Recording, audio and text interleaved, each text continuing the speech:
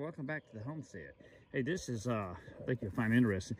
When I bought this place, this, these chairs and all were already here. Of course, they're all handmade. It looks like it's made out of cypress or juniper. Uh, you can tell underneath the tables here how they put it together with uh, just, uh, it looks like cedar. This was already here. And, uh,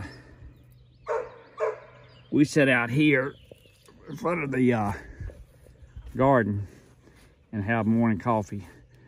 Or if we're picking tomatoes and stuff, we'll pick big baskets and sit it here. Uh, but thought you'd find this interesting.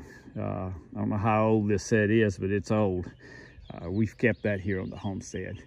Um, we're putting underneath this big uh, oak tree that we pruned back. We'll prune these low-lying limbs again to get some height.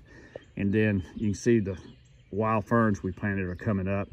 We'll pull some of the straw back really let them shoot, refertilize, and then we'll re-straw. This time next year, you won't even recognize this. It'll just be a bed of ferns on both sides here, as well as around the barn and the uh, woodshed, cabin, all of that. All right, little update, little project got going on here. Uh, I'm fixing to run to town and get some more chicken feed some scratch, and um, laying mash. You can see way over there,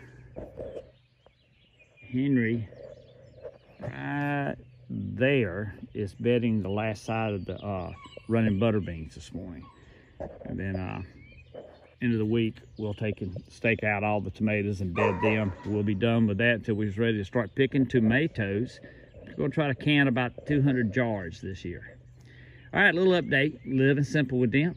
Hey guys, uh, you want more information on all of our projects here in the historical Alabama Black Belt, you can go to Living Simple with Demp.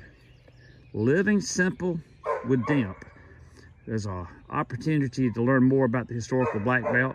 Uh, for the projects themselves, you can go to historicalcornwallis.com. Historicalcornwallis.com com and click on any of the buttons above and see all the different projects we got going on. I think you'll find it interesting. Living simple with Demp.